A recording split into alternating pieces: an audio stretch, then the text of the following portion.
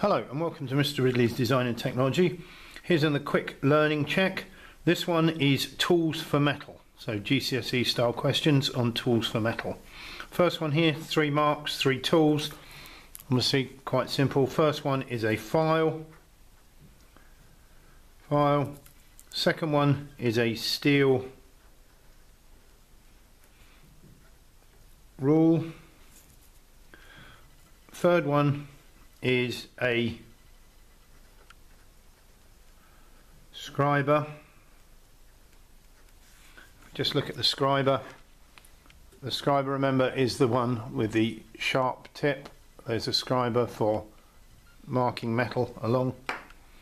Um, name the tool here. These are tin snips.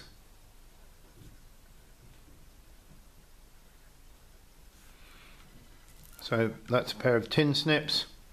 Um, describe what the tool is used for. We've got two marks here.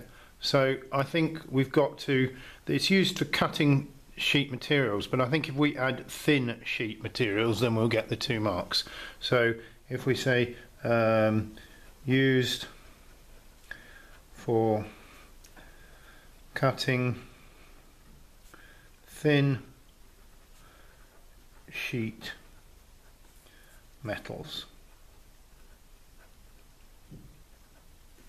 Um, and that would be the two marks. So we've got um, one mark, one mark, one mark, one mark there, two marks for that question because we've said thin sheet metals, not materials. And then last of all, we've got these multiple choice questions. So these are quite simple.